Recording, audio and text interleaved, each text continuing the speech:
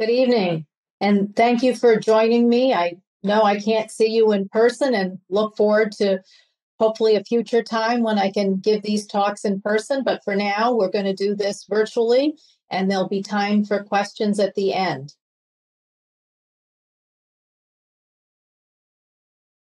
So I'm going to break the talk down to three different topics. Number one, new thinking about breast cancer susceptibility. Number two, new approaches to the treatment of early stage breast cancer. And number three, new drugs for advanced breast cancer. So let's start with the question of who gets breast cancer. Well, breast cancer is predominantly a disease of women. One out of 100 breast cancer cases will occur in a man. Breast cancer, like other cancers, is a disease of aging, so it is more common to have a diagnosis of breast cancer as one gets older. We'll talk a little bit more about family history, but this is obviously an important risk factor. Estrogen exposure is important, and this has to do with exposure through menstrual cycles and pregnancies, and um, also with other exposures. Lifestyle factors do matter. Um, healthy lifestyles, such as regular exercise, can lower the risk of breast cancer. Smoking and alcohol can increase the risk of breast cancer. And there are certain benign breast diseases, such as atypical hyperplasia, that can increase the risk of breast cancer. So let's look at these issues a little bit more closely. So hereditary susceptibility, we always think about, oh, family history. And, and the first thing I often hear from women with a new diagnosis is, but it's not in my family. But in reality, hereditary susceptibility only accounts for about 10 to 15% of all new breast cancer diagnoses. Estrogen exposure, however, is important for everyone. Um, women that may have started their menstrual periods at an earlier age and have menopause at a later age will have multiple years of cycling and exposure to estrogen. If the pregnancies occur early, then, and if there are multiple pregnancies, then there is less exposure. But obviously, that's not a great strategy for, um, from a public health perspective, to um, be promoting early pregnancies to try to reduce breast cancer risk. Um, we know that use of hormone medication after menopause can be associated with a higher risk of breast cancer. In particular, the combination of estrogen and progesterone can increase breast cancer risk. But one of the things that we've been particularly interested in studying is exposure to environmental estrogens. Now, my colleague at the, at the Rays of Hope Center for Breast Cancer Research, investigator Dr. Joe Jerry, often poses the question if one in eight women will be diagnosed with breast cancer, how are seven out of the eight protected? We keep focusing on this one of eight and what's going on that makes them susceptible. But the change in the focus is well, can we understand more about why these other women are protected if they've had similar exposures. And so that's been one of the themes this year for our research. Many of you may have heard of the Rays of Hope Center for Breast Cancer Research and the Breast Cancer Research Registry. We have an excellent collaboration with scientists at the Pioneer Valley Life Science Institute and UMass Amherst um, we have um, actually, this has been an IRB approved project for a number of years. We now have 1,365 um, individuals that are participants in the breast research registry, and we have over 400 that we have actual tissue samples from. And all of this has been put in a tissue repository that is really a rich resource for scientists to be able to study some of these important questions and really to kind of help us to put together a portrait of breast cancer in Western Massachusetts. Now, um, I'm going to show you some slides and um, uh, we'll try to go through them together just to give you an appreciation of what it is that these scientists are doing. So um, we have individuals in the registry with cancer, but also individuals that have surgery for breast reduction. So when you think about it, uh, breast reduction is done, and all of that breast tissue is essentially tossed. Um, but that breast tissue can be so helpful and so important for studying these questions that we um, are bringing up. And so we've enrolled a number of women that are undergoing reduction mammoplasty surgery and said to them, is it possible for us to use some of this tissue that otherwise would be thrown out? And so um, that tissue can be used and put into culture to be able to do some additional testing. And some of the testing that our investigators have been particularly interested in is looking at DNA damage. So when we think about DNA damage, that's what causes cancer. Cancer, a normal cell will divide, and a normal cell has a number of protective mechanisms. But when there's an insult to the cell and some damage, we need the cell to be able to repair. And sometimes the cell has trouble repairing, and that's what can then lead to cancer. Now, one of the things that they've been using these tissue explants for, and that's what it's called when we take the tissue and they are um, um, putting it in culture, it's an explant. Um, and they are using this to look at the different sensitivity to estrogen exposure. And so, this again, I'm just going to kind of go through this from a, a simpler perspective.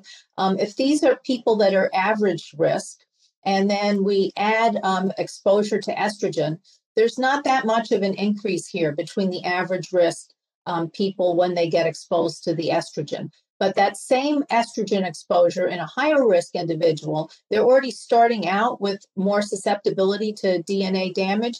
And then here with that um, additional exposure to estrogen, this really increases. And so what we're hoping is that this is going to be um, this is going to be uh, increasing um, from the high risk to the low risk, and that this might help us to be able to differentiate those individuals.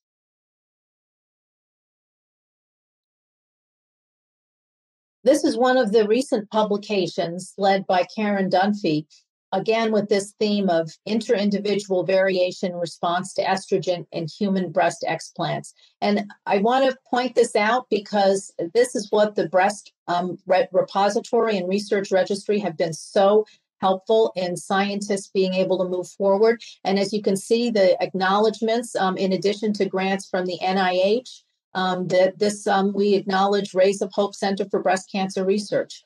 Um, Karen Dunphy has recently used this preliminary work to get an additional grant to really further these studies, um, which again, the theme of Rays of Hope being able to give startup funds so that we get preliminary data and then apply for larger grants.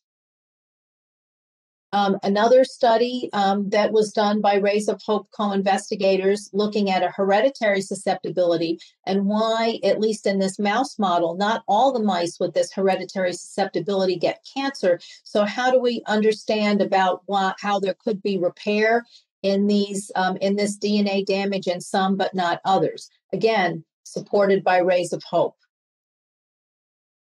One of the other questions that has been of great interest is the effects of environmental chemical exposure, in particular environmental estrogens. And again, um, using these, uh, these patient-derived breast tissue explants has helped this study along, and again, funded by Rays of Hope. And then finally, um, this work was done and recently published as well um, and this is looking at benzophenone 3 and propylparaben on estrogen receptor dependent DNA damage, R loops and DNA damage in breast epithelial cells. So, again, looking at this damage in the DNA and the difficulty repairing it. Um, and this is work that's all possible because of Rays of Hope and the breast registry and the tissue repository. So, to kind of sum up this work, it's all preliminary, um, but um, they looked at these um, propylparabens and BP3 found in cosmetics, personal care items, and sunscreens. So, everybody's exposed to these. So, is it possible that some people are more susceptible? And certainly, because DNA damage can lead to cancer, individuals may have highly variable responses to these environmental estrogens, and that's called a genetic polymorphisms. So some individuals may be more sensitive than others. So we're really, this is just very preliminary work. Um, it's very exciting work. And um, there have been additional grants to support taking this work to the next level. Um, but again, this is something preliminary through Rays of Hope. Well, how will this be helpful? Why is this important? Well, we really want to be able to understand who's at higher risk and who's at lower risk. It's all about personalizing care. So if we can say uh, to an individual woman, and for example, testing them to these estrogen susceptibilities. So again, this is not something that's available now. This is something that is being done from an investigational perspective. But let's just say that we could identify these women that might be at higher risk. Well, those might be individuals that might have more frequent screening. They might have additional screening tests. So perhaps in addition to mammography, they might have breast MRI or ultrasound. They also might be candidates for risk reducing medication. We have a number of medicines that women can take to lower their risk of breast cancer. This includes tamoxifen, raloxifene, aromatase inhibitors. So um, that would be a, a very important message to a woman that we've identified you as higher risk and these medications could lower your risk by a significant amount. And then, of course, healthy lifestyles is, is for everyone. So, what about if we're able to again do these tests and say to someone, you're at lower risk? Well, again, healthy lifestyles is for everyone, but perhaps those individuals don't need the annual screening. Perhaps every other year mammography might be appropriate, or maybe at a certain age it might be appropriate to make it less frequent. There would be no need for additional screening tests that might be costly and might lead to additional other tests and there would be no need to consider risk reducing medication. Okay, so I'm going to switch gears now from our research on breast cancer susceptibility to the clinic, to what we're doing every day when we see women with early stage breast cancer. And the two approaches and the two themes that I want to bring up that have to do with new approaches to breast cancer treatment have to do with, first of all, the question of who really needs chemotherapy. And second of all, the question when do we need to give chemotherapy before surgery? So, I have to give you a little primer on breast cancer, and that'll help you to understand breast cancer treatment. After a woman has a biopsy, the biopsy goes to the pathologist. And the pathologist is doing some stains to look at it under the microscope. And these are the traditional stains that are done. Then they do an extra stain for something called estrogen receptor, another stain for progesterone receptor, and another stain for HER2. So these are all on the surface of the cells. And if we look at this particular panel here, this is estrogen and progesterone receptor positive. If we go down this way. So we can see that the cells here picked up this dark stain for estrogen receptor positive and again for progesterone receptor positive, but nothing picked up for HER2. So this breast cancer would be what we call hormone receptor positive, ERPR positive, and HER2 negative. So let's take the next one. So the next one here, the ER is positive. Again, you see this dark brown stain. The PR is positive, this dark brown stain. Now here, this is also positive for the HER2. So all three of these are positive. So this is very important in helping us to determine the type of treatment that this individual needs. Now let's go to the next one. So this next one here the ER is negative, so you can see there's none of that brown staining. The PR is negative, there's none of that staining, but the HER2 is positive. So this particular patient would be ER negative, PR negative, but HER2 positive. And finally, this last category, we can see that this didn't pick up any of the stains for the ER, the PR, or the HER2. This is ER negative, PR negative, HER2 negative, and sometimes this is called triple negative breast cancer. So you'll hear me use that term as we move ahead. So, more definitions. Again, I have to give you a primer so you can understand what's new. You have to understand what's what's uh, the standard approach. So, what is adjuvant systemic treatment? So, adjuvant means extra. So, Women will have surgery and radiation to address the breast area. But there, even in people that have no cancer that spread to the lymph nodes, cancer cells could have escaped from the breast area to the rest of the body. And even though after surgery we tell women you're cancer free, this extra treatment, this adjuvant treatment, may be extremely important in lowering the risk of breast cancer coming back in the years to come. So, adjuvant means extra. So, um, systemic, the word systemic means that it goes throughout your system, throughout the bloodstream. So, that makes it very different from surgery and radiation, which just treat specific sites. They just treat the breast and, and lymph node areas in that region. Now, endocrine therapy are anti estrogen pills that are usually taken for five to 10 years. So, those medicines are prescribed for individuals that have ER, PR positive breast cancers. In other words, hormone positive breast cancers. Examples of these drugs include tamoxifen, aromatase inhibitors such as anastrozole, exemestane, and letrozole. Now, chemotherapy are drugs that are generally given intravenously. Chemotherapy are medications that attack rapidly dividing cells. So they are appropriate to use whether it's estrogen receptor positive or estrogen receptor negative, whether it's HER2 positive or HER2 negative. So chemotherapy basically attacks cancer cells because they are rapidly dividing cells. HER2 directed treatment are drugs that target the HER2 positive cells. So, again, you saw that in the panel that we were testing. So, this is a hugely important piece of understanding breast cancer treatment. And it's really in the last decade and the last um, 20 years that this is um, something that we've been really focusing a lot on. Um, the HER2 directed treatments are often monoclonal antibodies, but they can also be small targeted treatments, and they're generally given in combination with chemotherapy. So, to understand breast cancer treatment, let's look at the whole big picture. And the big picture is that most breast cancer is hormone receptor positive, HER2 negative. So that ERPR positive, HER2 negative is 71% of all new breast cancers. Now, the HER2 positive breast cancers, hormone receptor negative, HER2 positive, 5%, hormone receptor positive, HER2 positive is 12%. So, all in all, maybe about 17% to 17 to 20% of the breast cancers that we see have too much of this HER2 or what we call overexpressed HER2, HER2 positive cancers. So that's about 20%. And then finally, that group that is ER negative, PR negative, HER2 negative, also known as triple negative breast cancer, represents about 12% of breast cancers.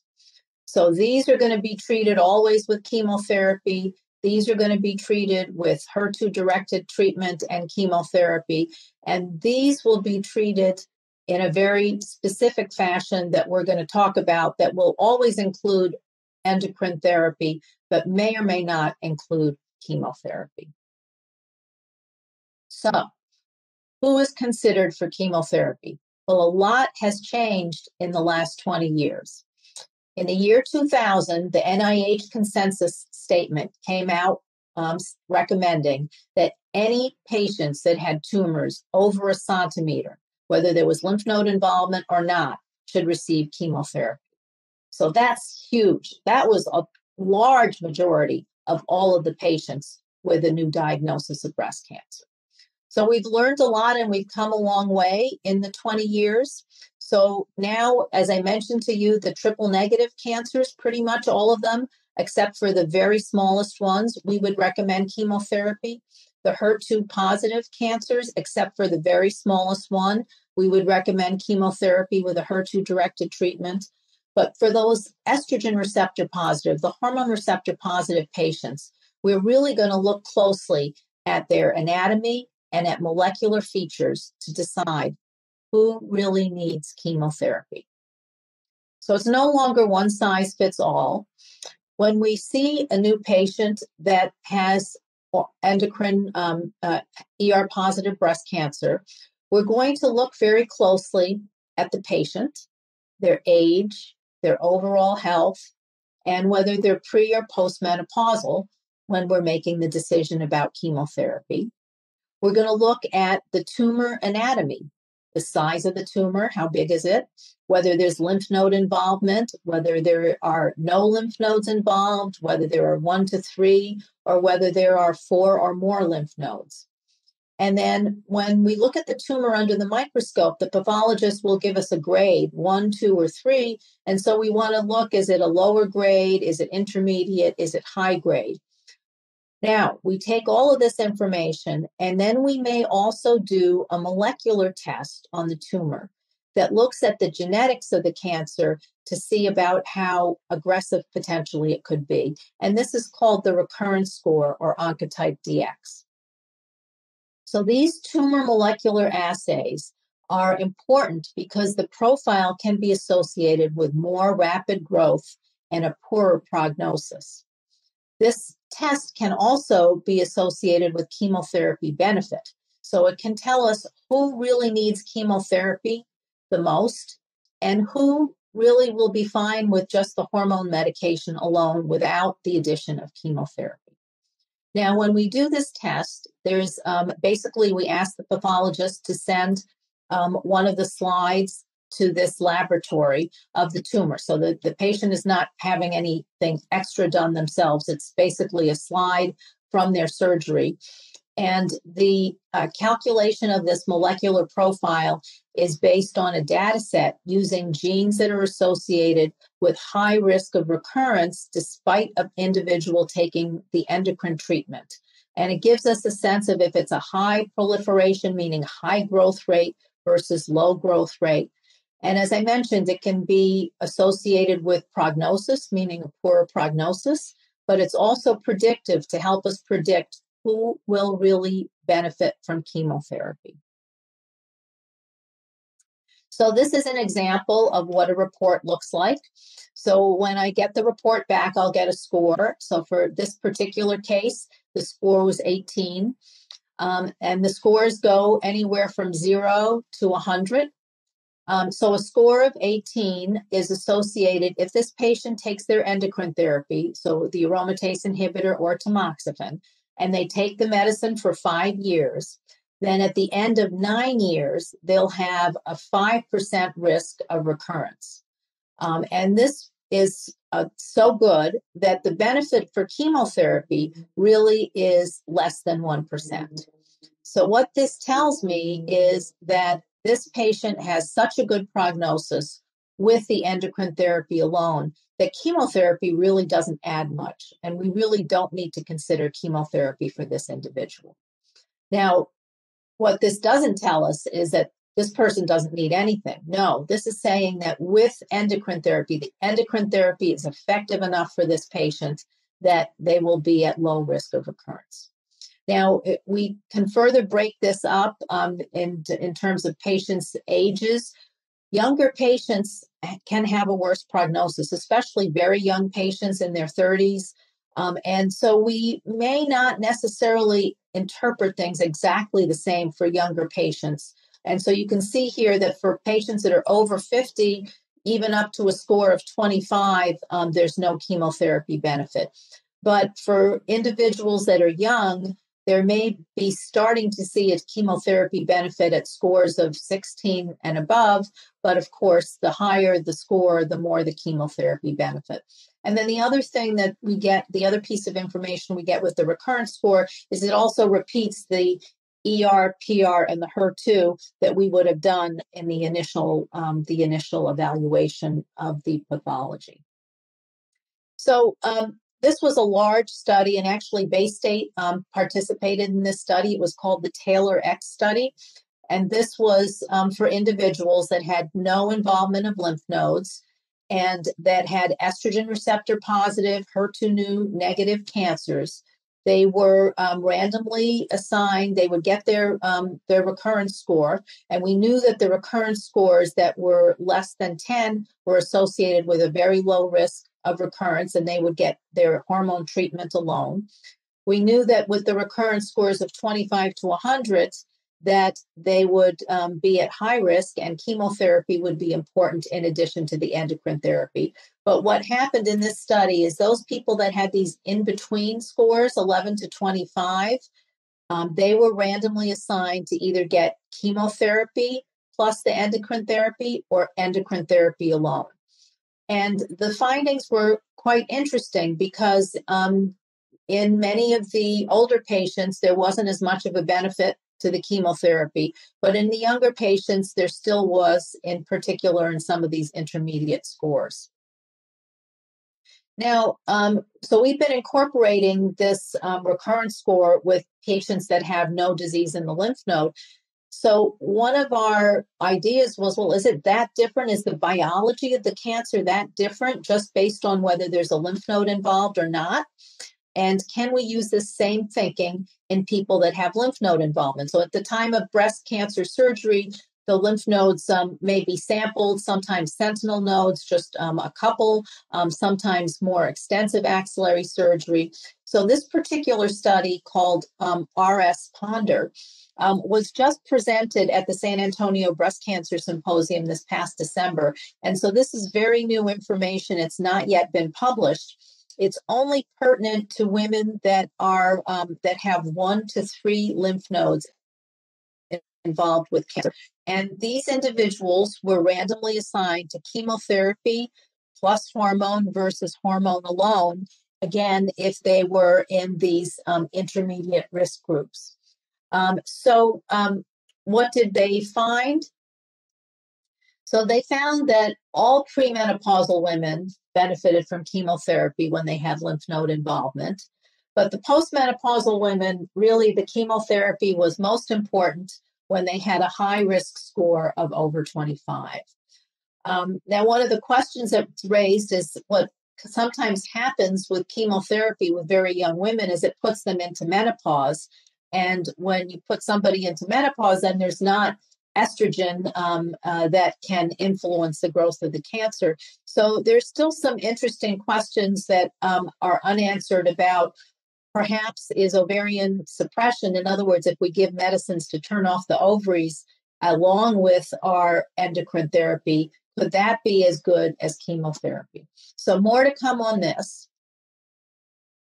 Um, but the bottom line on this molecular testing for early stage breast cancer is it can be used to select patients whose tumors are so sensitive to hormone treatment that chemotherapy adds little additional benefit.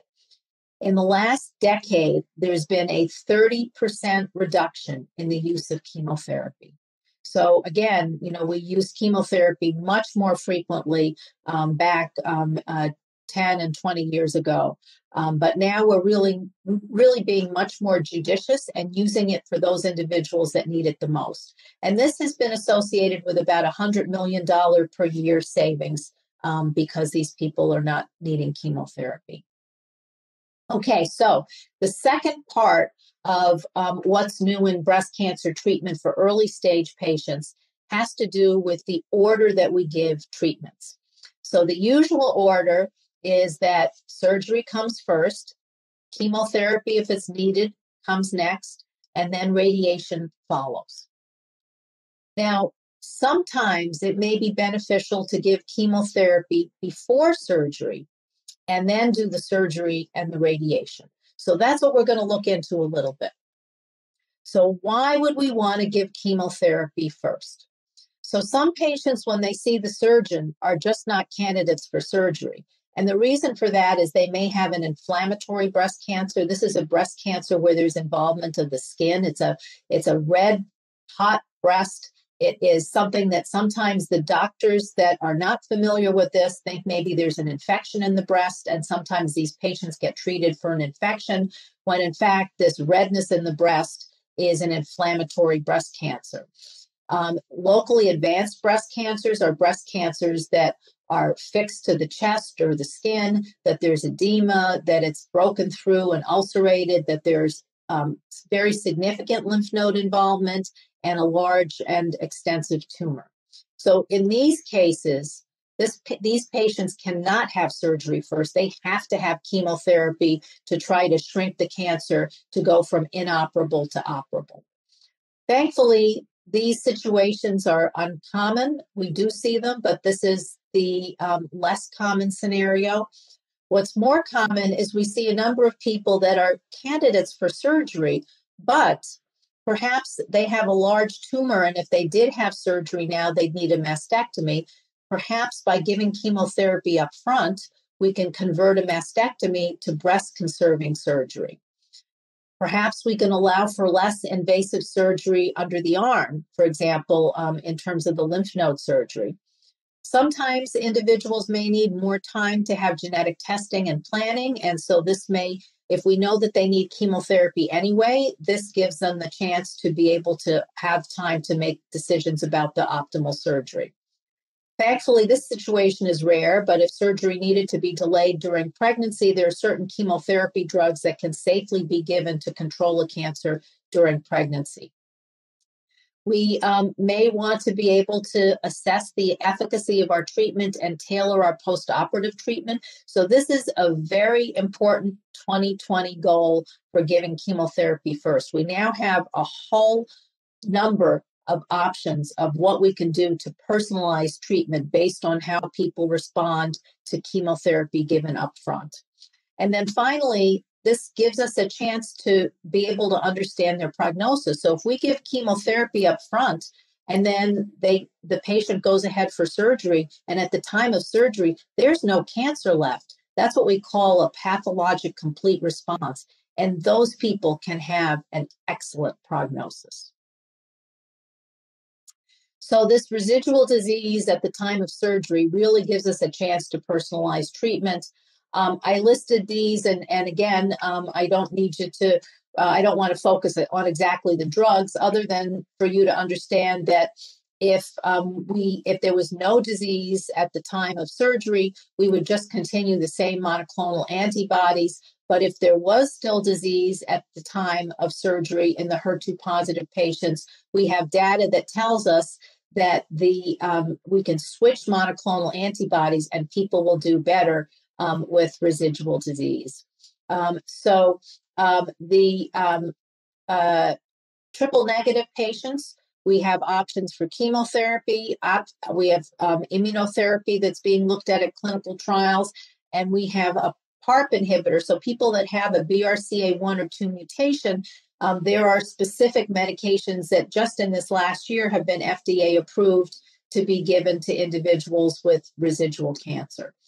Um, and then finally, for the hormone receptor positive patients, well, they may have gotten pre op chemo, but they still haven't gotten potentially their most effective treatment, the hormone treatment. There are ways that we can maximize this with other targeted agents and um, bone strengthening agents and PARP inhibitors if they're BRCA positive. And of course, this is a great opportunity for clinical trials. So, without again really focusing too much on the specifics, the point here is that we can better predict a person's prognosis and we can better personalize their care when we can see the results after the initial chemotherapy.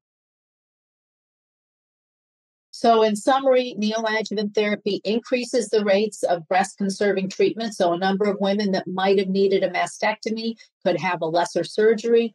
There might be a slight difference in the recurrence in the breast, but there's no difference in survival. There's no difference in distant recurrence. Pathologic complete response, especially in the triple negative cancers and HER2 positive cancers, is a strong predictor of survival. So, when we achieve this, um, we're very excited for these patients.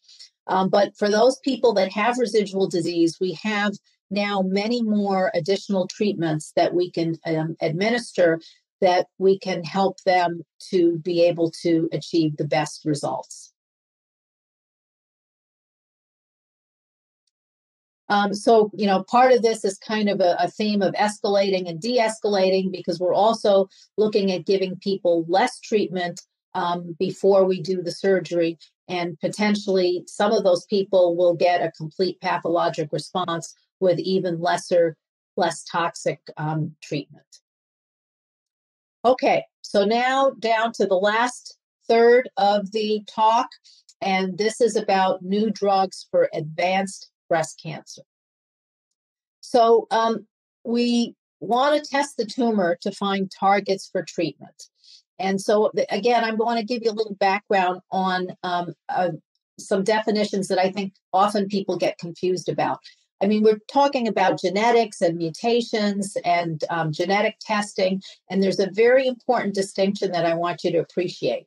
So, tumors have lots of mutations, and they're acquired through cell division. They're passed on to other cells, but they're not transmitted to offspring. So, in other words, if a person has a cancer that has all these mutations, that's not something they can that they have the possibility of having passed on to their offspring. Tumors can have more than 10,000 mutations, but some of these mutations may serve as targets for treatment. So that's one of the things you're going to hear me talking about is targeted treatment.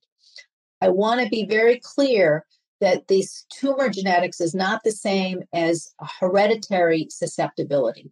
Um, so this is germline testing. So when we talk about, for example, BRCA1 and BRCA2, that's a mutation that an individual is born with that's transmitted to that has a 50 50 chance of being transmitted to their offspring and it's present in all of their cells. So we'll see it in the tumor, but it's present in all of their cells because this is something that they were born with. So again, these are hereditary germline mutations, very different from tumor genetics. Um, so um, the, there's just been an explosion of new drugs um, over the years. Um, between 1949 and 1988, there were only eight drugs for breast cancer. Um, during this almost 40 year period, there were 22 drugs. Um, but then, you know, the last decade um, in particular, um, there have been a number of new drugs. Um, 2014 to 2018, four drugs. But in 2019, there were three drugs. And in 2020, there were four drugs. Cancer drugs represent the largest category of new drug approvals and it, in uh, 2020, um, there were 21 new drugs. This is for all new cancers. So again, you know, compared to the difference in getting approvals for cancers uh, for drugs that are non-cancer drugs, um, there is a lot going on. And despite the pandemic, there have been new drugs and new approvals and a lot happening in terms of new treatment. Um, so here I am. I'm going to talk to you with this word targets. So you know, the we talked about how with ER and PR positive cancers, we have hormone treatment. With HER2 positive cancers, we have the HER2 directed treatment. But the triple negative cancers, ER negative, PR negative, HER2 negative, um, what is their target? Uh, so we are studying cell um, dynamics and looking at the cells and trying to identify parts of the mechanisms that help the cell to divide that potentially could be targets for treatment. So, one of them that, for example, is very helpful for those with um, uh, hereditary susceptibilities is this deficiency uh, and what's called a PARP inhibitor. These drugs can um, be important in terms of DNA repair. Um, there are um, uh, there's a mutation called AKT that we have some drugs that can target this. Um, there are um, immunotherapy drugs that can be targets um, for what's called um, PDL 1 program cell death. Um, so we are looking at different targets for the um, triple negative cancers. now, in terms of the endocrine therapies, so tamoxifen was one of the first cancer medications to, to be, and actually one of the world's most widely pre, pre, um, prescribed cancer medications for a long time. Tamoxifen actually started out in the 70s. It was a failed birth control pill, and it almost got tossed when um, one of the investigators um, made some observations on the use of tamoxifen um, for um, breast cancer treatment. And um, tamoxifen works in estrogen and progesterone receptor positive cancers uh, which, as we talked about, is 70% of the cancers. Um, it um, works in both premenopausal and postmenopausal women. And as you can see, for almost um, 20 years, that was the hormone treatment for breast cancer. The class of medicines called aromatase inhibitors, um, anastrozole, exemestane, letrozole, these medications came into play um, in the late 1990s um, initially in advanced disease, and now we're using them up front in early stage disease. Other categories of endocrine treatment, um, something called a SERD, selective estrogen receptor disruptor. And these are um, medicines that we're using in more advanced breast cancer. But now we have other targets that we also can include um, with these endocrine treatments that help to really these these agents help to supercharge the hormone treatment. Some of these med- medications, uh, ribociclib, abemaciclib, um, and palbociclib, um, these are called CDK4/6 inhibitors. Again, these mechanisms are not so important for our discussion today. What I want you to appreciate is that look at this. This is between 2014 uh, to the present. These new agents help us to supercharge our hormone treatments. So, um, in terms of the HER2 story, so um, HER2 testing started in the 90s, and trastuzumab was first approved for the treatment of advanced metastatic cancer in 1998. Um, and this was really a game changer because these cancers can be very rapidly growing, very aggressive cancers. But this monoclonal antibody, specifically targeted to this treatment, was widely effective. Um, it took some time for it to be treated, as, to, for it to be studied, and for it to be brought up into the use in early stage disease. Um, and that happened in 2006. Um, again, the trastuzumab was the only HER2 directed treatment we had for a long time.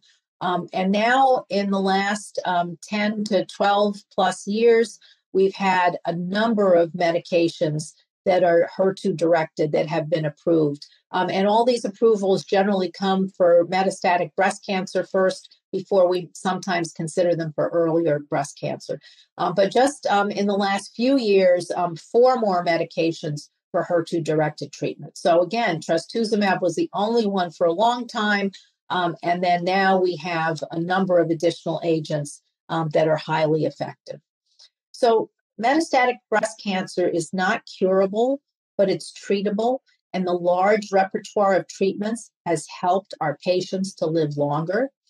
The hormone positive patients can be treated with endocrine therapy and these additional targeted agents that really supercharge the hormone treatments. The HER2 positive patients now have choices of a number of new drugs um, that are appropriate for advanced disease. For triple negative patients, this is the group we're still doing a lot of testing for targets. Um, we have new chemotherapy drugs. We have new targets that we're um, uh, addressing. Um, and this group um, has had benefit recently with new drugs, but we continue to look for more targets um, for this particular group. For anyone that has a BRCA1 or BRCA2 mutation, this class of drugs called PARP inhibitors helps um, to address the issue of DNA repair.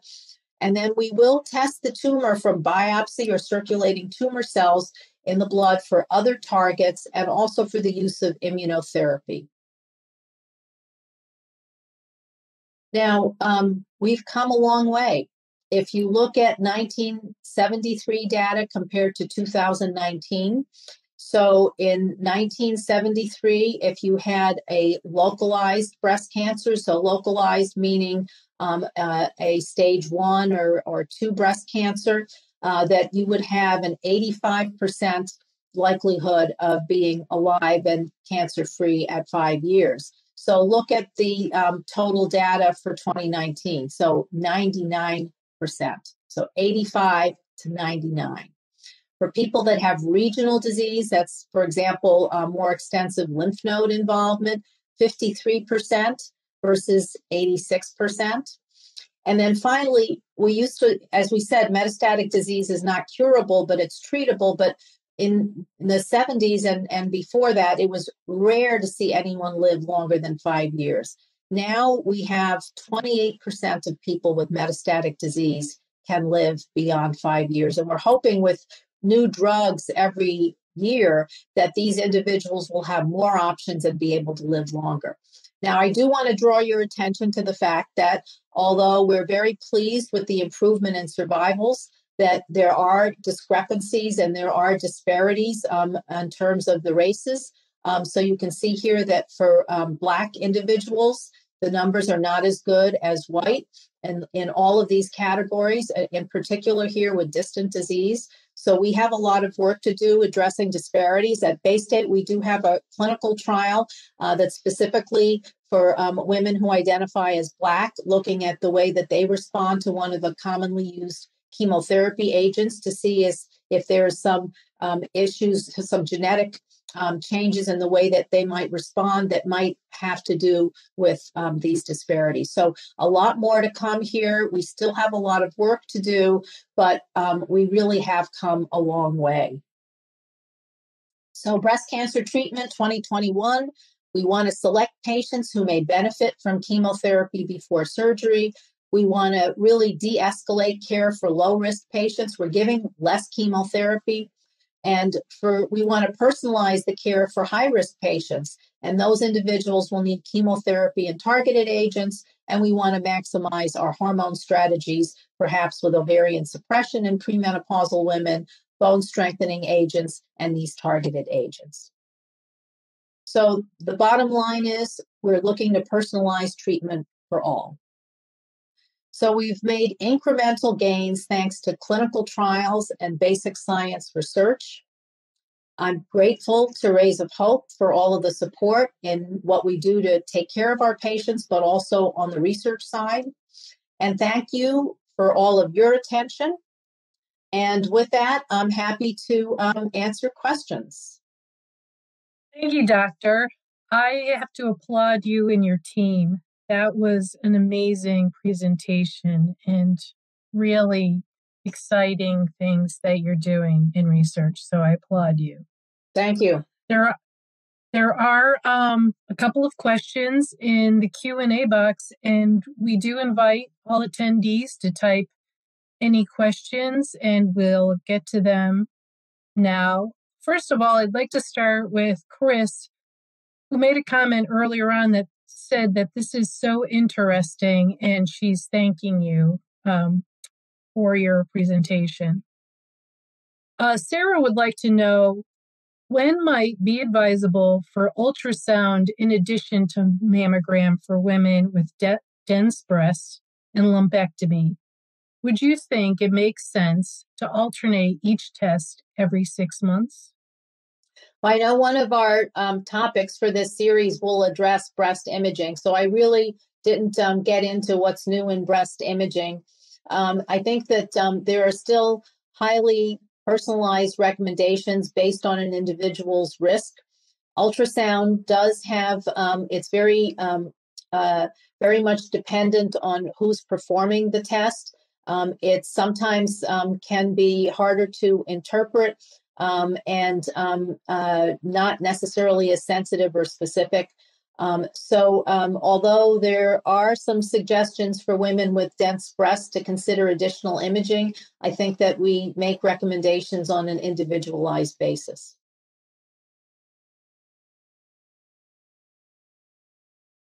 Thank you. Um, Sarah also has another question, and I'm hoping that I pronounce this correctly, but what is your feeling about Zometa for women on anastrozole? Anastrozole. Okay, no, that's a great question. Thank you for that. So I, I you know, I, I didn't get into that in detail. I used the word bisphosphonate and the uh, zoledronic acid, um, or also known as Zometa, um, has been shown in postmenopausal women on aromatase inhibitors like anastrozole to reduce the risk of fractures, but also to lower the risk of recurrence by a significant percentage. Um, so, in making the decision about who would benefit from a bisphosphonate in addition to the endocrine treatment, um, I look at the patient factors. So, in other words, if somebody is already starting out with osteoporosis, then that's a very helpful treatment. Um, but then I also will look at the tumor factors. And if somebody is at high risk of cancer coming back, even if they have a normal bone density, I will discuss the bisphosphonates with them. So the, the discussion has to do with the individual's bone density and their risk of fractures and their breast cancer and the risk of breast cancer recurrence. Thank you for that. Um, there's uh, one comment that this person said that they are very proud of Rays of Hope. And as a chair, I'm sure you feel uh, the same way.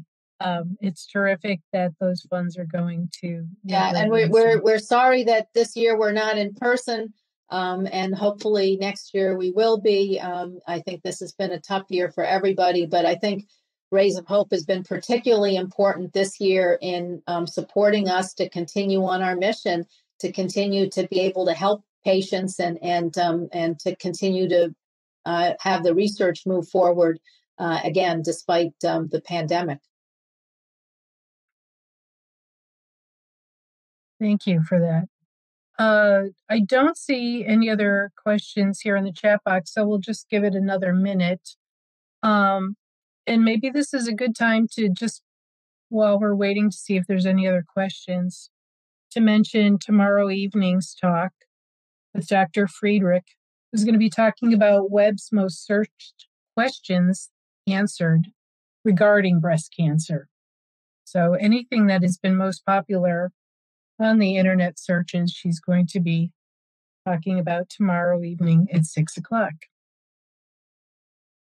And oh, Cindy wanted to make mention to you, Doctor, that this was very helpful and that she says thank you. Oh, and Pam has a question. How much exercise do you re- recommend weekly in diet? Uh, so I'm a big proponent of healthy lifestyles.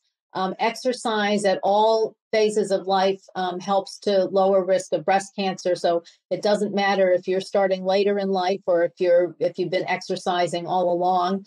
Um, generally, um, about 120 minutes a week would be the minimum. 150 um, minutes per week would be nice. Um, and again, uh, I think that it can be a combination of, of things. Um, in terms of diet, there's no breast cancer prevention diet per se. However, the American Cancer Society and the American Heart Association really um, uh, recommend the same type of diet, which is basically the Mediterranean diet. I think people are probably all familiar with that. Um, but um, uh, you know, healthy eating, um, uh, minimizing alcohol, not smoking, regular exercise, these are all things that um, individuals um, can do, um, and um, uh, I, I, will continue to promote that. Excellent. Um, I have a comment for you, and then we have another question. Uh, Jamie would like you to know that this was an awesome presentation. Thanks for all the work you do and the care given to each patient's individual experience. Thank you that for that. very nice. Uh, Carolyn would like to know Have there been study results for long term use of aromatase inhibitors, uh, 15 to 20 years? Question mark. Um, so yeah, we we are um, we have um, had a number of those studies, in particular beyond ten years. So um, so let me kind of back up and, and give a little um, a little bit more information. So the the standard duration of aromatase inhibitors is for five years. There are some studies looking at, and there have been studies that have looked at five years versus ten years. And for most people, five years is enough. Um, for people that are at particularly high risk um, 10 years could be better. The concern with um, five years versus 10 years is that five extra years um, is a concern potentially for the bone density and fracture risk. So that in terms of the long term, um, being on the aromatase inhibitor longer than five years in particular, um, we would be um, selecting patients that, you know, really um, we were less concerned about their bone density or that they were maintaining a good bone density despite being on the medication. Um, in terms of um, other long-term toxicities, I think again the the bone density is the most important one. Um, and um, overall, these medicines are um, safe um, and effective. Excellent. Thank you. Uh, Lisa would like to thank you and thank the Rays of Hope. Pam um, did say she agreed um, with your information and said it was fascinating and she appreciates all you do. Cindy has a question are there any alternative treatments, such as any vitamins or minerals? Um, again, um, I, I wish that there was um, something that I could say would be important in preventing breast cancer. Um, what I can say um, is that um, vitamin D is important in uh, maintaining bone health. So, any woman beyond menopause should be taking vitamin D because you're not going to get vitamin D from the sunlight living in the Northeast. and vitamin D is not going to be easily accessible from diet.